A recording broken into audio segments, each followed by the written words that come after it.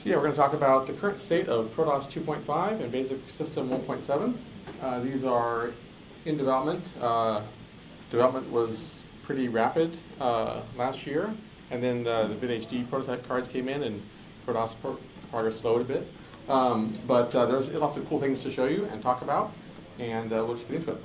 So um, the first thing to do is see if we can get uh, get back to our program. There we go. All right, so um, so the first things that you'll notice here that are different is there's a upgraded version of Bitsy Bye. And um, so with ProDOS 2.5, we have lowercase file name support. Um, and that, the implementation of the lowercase file name uh, matches what GSOS and the Finder uh, use, which means that all files are in uppercase in the directory entries, but there are 16 bits uh, where each set bit says that that character should be dropped to lowercase. So if uh, an application isn't aware of lowercase, they will just read the directory entries and see all uppercase names. If they are, uh, if they support the new, the new lowercase capabilities, then they can drop the, the characters lowercase. And in addition, ProDOS 2.5 automatically uses those lowercase bit flags and converts the uppercase characters to lowercase um, automatically, unless it's a two or two plus, in which case it leaves them uppercase. Um, so uh, also the bottom uh, border is gone, and that has opened up the number of files that can be uh, viewed at once in Bitsy Bye from uh, is now 22 in, instead of 20. So we have 10% more files. Um, there's also a few more options here. Um, we now have the ability to hit delete to go right back to GSOS on a GS machine. So if you are using the Finder and then you want to do some stuff in 8-bit land for a while, you can run ProDOS 8 and do multiple apps and then hit delete from here when you're ready to go back to the Finder. Um, and then also with Bitsy Bye, you've always been able to hit a slot to see whatever uh, you know whatever disks are in those slots. But if you had like a DOS33 disk and you put it in, say, slot two here, Bitsy Bye will say, I don't know what's what's in that slot, but you can hit reset and just boot it. So any of the slots that you're browsing to, even if it doesn't know what's in that slot, you can just hit reset and boot right there. So effectively, it's combining what used to be in Bitsy Boot, which was a return to GSOS and a reset and a and a boot feature. That's all now built into the default Bitsy Bye launcher inside ProDOS. So it's it's handy. Um, let's see. Uh, other changes, I think we'll need to go to basic to demonstrate. Um, so one nice improvement is uh, in earlier versions of BASIC on a 2E or 2C, you'd hit the delete key and you'd get the checkerboard every time. So that's now fixed. Uh, hitting the delete key will actually delete the character. Um, so, you know, that was a tough one. You know, it, it, took more than 30 years, but you know, eventually, eventually, you know. Uh, so, uh, so that's a good one. Um, there's a new command called online, in case you uh, want to know what devices you have in your system. Sweet. Knowing the slot and the drive, what it's called, and how much free space, that's kind of a useful thing. Um, so that's now built in. Um, and uh, another thing that's useful is um, so the, the, the, the year has been expanded from 7 bits, which is 126, 127 years was what uh, ProDOS and BASIC supported in the past, 1900 to basically, they thought it was going to be 1999, of course. But, uh, the world didn't end, so that's good. Um, but, um, but yeah, so now uh, ProDOS and system have a 10-bit year, so that's 1,024 years from uh, 1900. So now we can make it to uh, 2924 before the world ends. So that part's good. Um, and uh, yeah, right, exactly. So uh, For a while. yeah, for a while, yeah. Un- Unfortunately, uh, there's still a year 20, uh, 2040 problem, at which point the, the 32-bit uh, uh, timer in, in seconds on the GS, that will expire, or basically wrap around, and we will go back to the Stone Ages, apparently. Uh, yeah. Uh, what is GSOS, uh, ProDOS FST for that? Uh, yeah, it it hasn't been updated yet, so that's one of the uh, to-do items. Yeah, I'm, I'm going to be calling for What help. happen, what happens with it? What does it wind up doing? Uh, it just ignores the upper three bits. So as far as it's concerned, it'll just wrap from 19 or from 2040 back to 1900. Uh, but I'm hoping we get that fixed before before that happens. Uh, yes. And um, let's see. Um, Where are the upper three bits?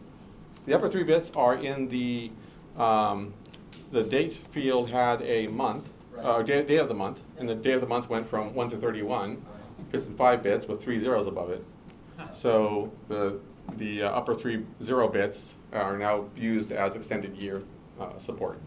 Um, there's also, although been, there's also been uh, a lot of kind of thinking and work about uh, expanding the directory entry format. Right now it's 42 bytes, and we're keeping it there for compatibility reasons. I talked last year about maybe expanding it. Um, so there's discussions going with multiple people about what kind of expansion would be a good idea and worth it, and blah blah blah. But there definitely is going to be an impact on software to make a directory entry size change. So we're we're we're making progress there, but there's really nothing to announce at this stage. It's kind of in progress. Yeah. In the lowercase file name support, you mentioned that it'll keep them all uppercase for two or two plus. I didn't know two and two plus could run ProDOS. Yeah. They can up to one point nine, I think. Well, no. So that's so from that was why I made the 2.4 one. Um, so so starting with 2.4 and forward, um, ProDOS now runs all the way back to the integer Apple II. So it's uh, so so ProDOS is now kind of as universal as as DOS 3.3 is. So it's all six five oh two. Yeah, it's all 6502 code. And and yeah, so, so now even the even the uh, the integer Apple IIs or the or the uh, Apple II pluses with 6502 processors or unenhanced 2Es, all of those can run um, CFFA ca- cards with 16 uh, drives because SmartPort works. Excuse me. And SmartPort was one of the big additions in ProDOS 2 that was locked out of uh, the earlier machines. Sorry. So um, yeah, so the, the, the year support, um, the other change, which I don't have an easy app to demo, is that the, um, the dash command will now um, load uh, pro command files. So pro command has a lot of interesting extensions. It's going to be Bredon's package of, of add-ons. Those pro, pro command files expect to be loaded at 4,000.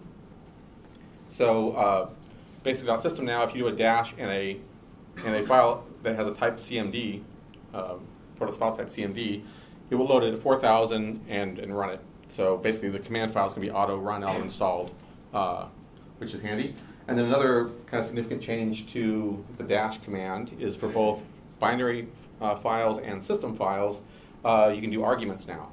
So you can do dash, you know, copy file one, file two, for example, if you want to run a copy command or whatever. So um, as many as you want. So basically, what happens now is uh, basic.system when it would parse running commands, whether whether with brun or, or actually it's, it's with dash, it uh, wouldn't allow anything after the command.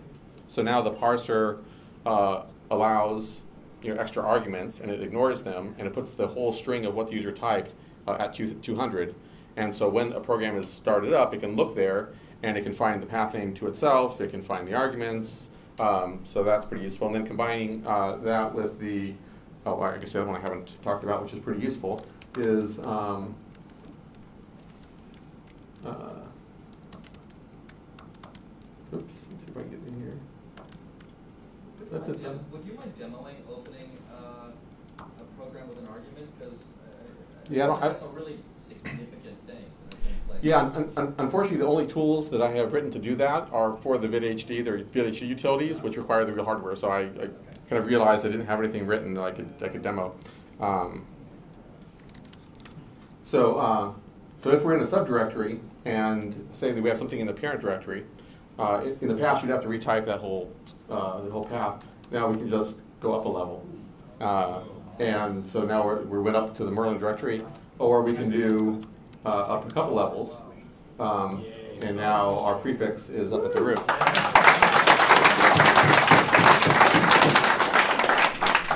So th- this is a pretty big thing as far as you can have an application which gets installed somewhere on a hard drive. It doesn't need to know the name of the hard drive. It doesn't need to know how deep it is in the hierarchy of the hard drive. It can have subfolders, and those subfolders can come back up to the to the parent without having to go all the way to the root or know the name or any of the rest of that stuff. Now, um, the way this is implemented is not quite the same as as on uh, Unix because uh, this isn't a directory entry or anything like like like Unix would do. The um, the file name parser in ProDOS it used to have two types of path names. They would either have a full path name that started with a slash and had to be everything, or it would be a partial path name which is always just tacked onto the end of the prefix. So what I, did- what I changed is the partial path name parser now recognizes as many leading dot dot slashes as you want to have, and it will strip off one degree of prefix and then reconstruct a whole new full path name as if you typed the whole thing uh, without you having to know what it is. But one, one consequence of that is you can't do some number of dot dots, then some number of names, and then some more dot dots. You know, however many directories that you want to pop, those all have to be at the, at the start of the partial prefix. But in practice, this totally gets the job done as far as being able to move around in directories without nearly as much typing and pain. Um, so, uh, you know, so, so this combined with the arguments uh, is important because now you can give arguments which just say go dot dot or whatever. So, uh, so those two things I think open up a lot of interesting possibilities as far as uh, options for basic system improvements or tools that help basic or ProDOS. Anyway, so lots of things can be done. Um, so that's pretty handy. Uh, okay, and um, let's see. Okay, so now let me go back to the slides, and we'll see how, how well I was able to remember all the new, new stuff. You only have Um, one block free, or is that the? Uh, no, I probably have one block free. Yeah, I, I, it's uh, yeah, rather. Let's see. Uh, yeah, everyone agrees. Oh, and yeah, and zero blocks free on the uh, on ProDOS 2, which sounds right. Okay, so um, let's see if I can get back over here.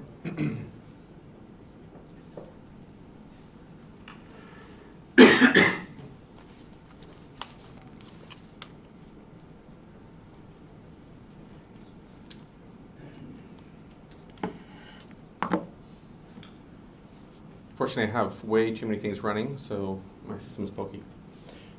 All right. Um, so yeah, this is a quick summary of the features and see what I forgot, if any. Um, so yeah, we have the lowercase file names. Um, now, the way that I'm currently disabling lowercase on the 2 and 2 plus is it looks at ProDOS's uh, machine type ID in the global page of BF, whatever it is. And if the machine type is a 2 or 2 plus, then it just disables returning lowercase names. If it's a 2E, 2CGS, then what uh, ProDOS does is every time it reads the uppercase names off the disk, it also goes, grabs the, the case bits and changes the uppercase names to lowercase and then passes them to the app- application. Um, so that applications get automatically automatically get the lowercase files without having to know about this case bits and where they are in the machinery. So it's, it's, it's fairly automatic. Um, now, there, is, there are a few applications which don't like uh, seeing lowercase names, and I'll talk about that in a minute. Um, there's the dot dot support, um, and then the, the 1,000 year support. Um, let's see. Oh wait, I think I may have I may have a mistake here because my slides are confused. Hold on. Where did my slides go?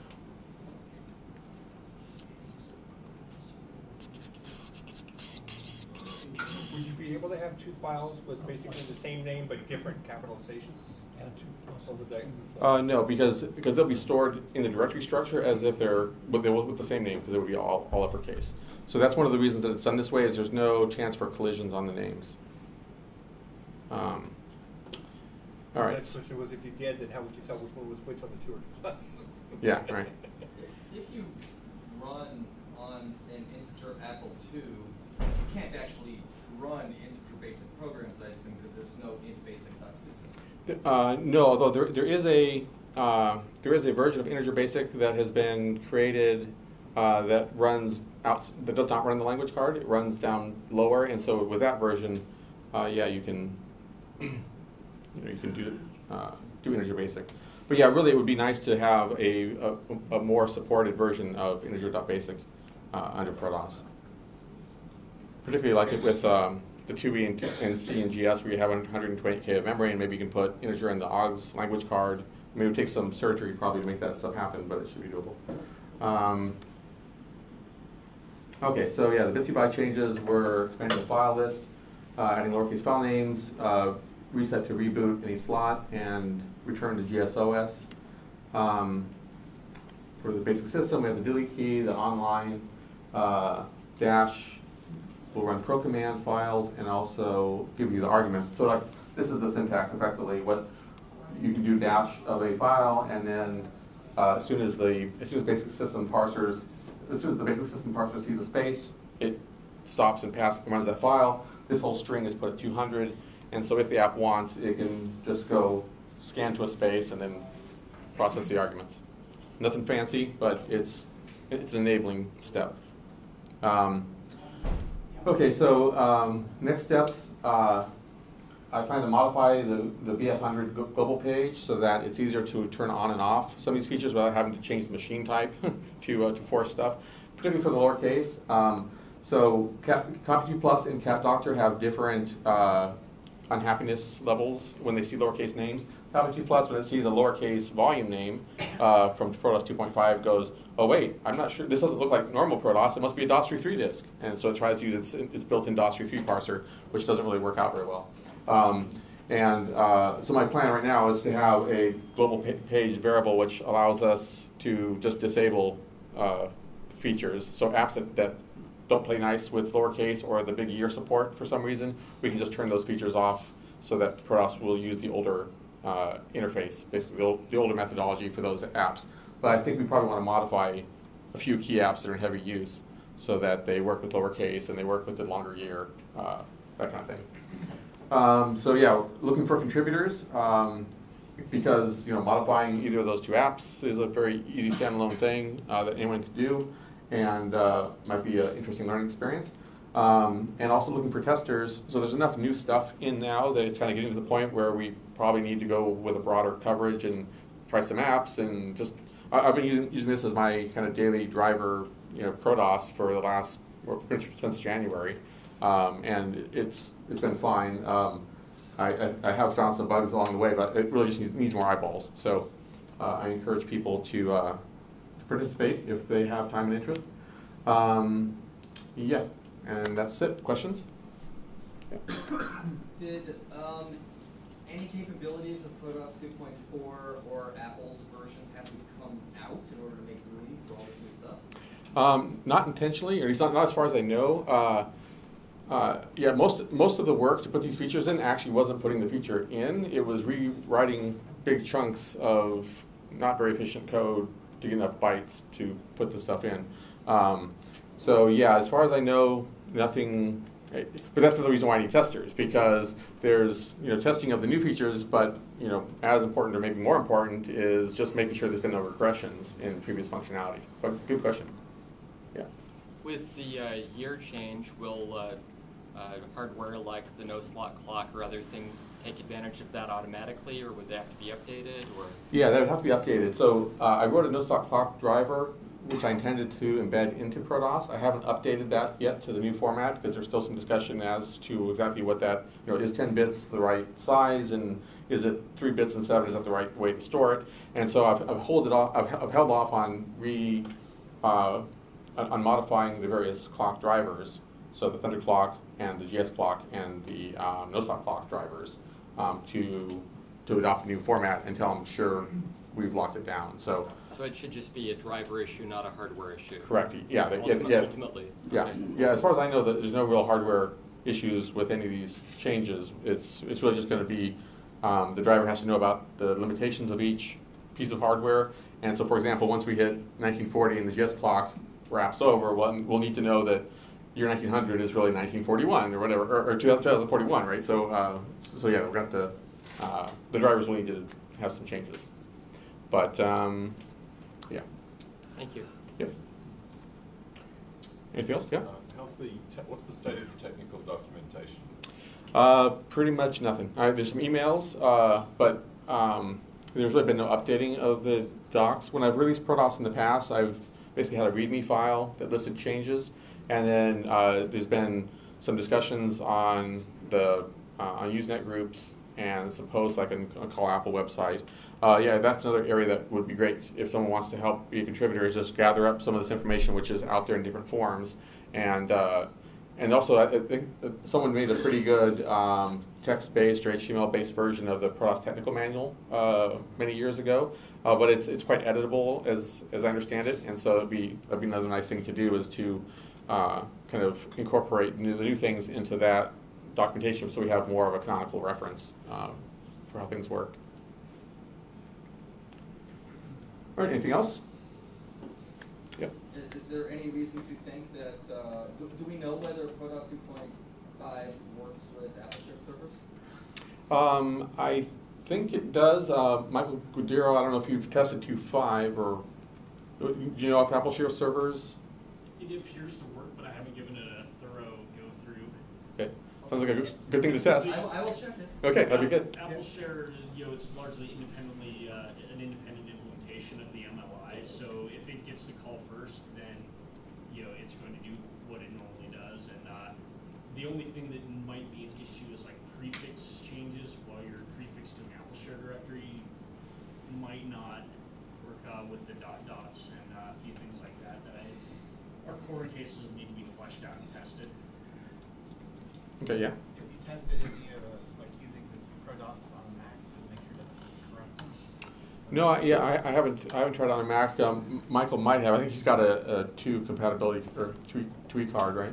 Yeah, it will, uh, it will boot on it, but again, that's not what I typically test on. I've been using two five on my two C for the most part, uh, that's where I've been spending most of my time on it. Yeah. So, uh, yeah, that's, uh, another thing that can be tested further. There was- I think you may have been talking about the Mac OS's ability to read ProDOS disks. Right. Oh, okay. Yeah, no, that shouldn't be affected other than um, unless it doesn't like the f- the once once we get past 1940 or 2040, um, it may not like the extra bits. So um, you know, in, in that we've that we've used, uh, but um, yeah, again, that's nothing that probably should be tested and would be pretty easy to test. Just we can use a block editor and put some bits in there and then see if if what the Mac does with it. All right, anybody else? Thank you.